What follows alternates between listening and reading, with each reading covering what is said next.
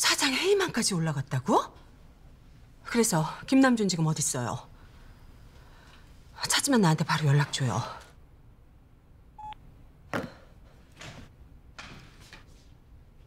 여보. 도대체 어디다가 지금 나타난 거예요?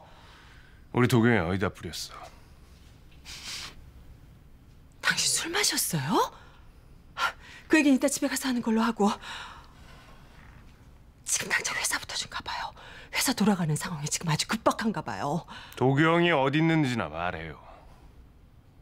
여보, 말하라고! 우리 별장 근처 강가. 여보, 여보.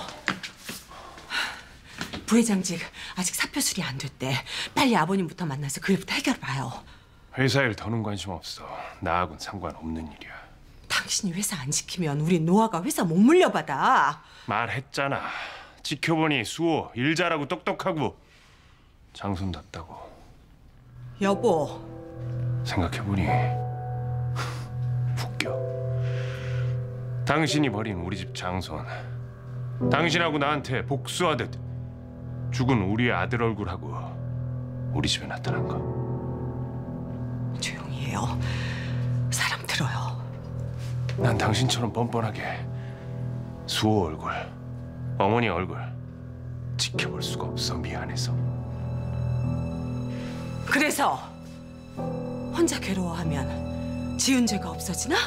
도망가면 그만이야?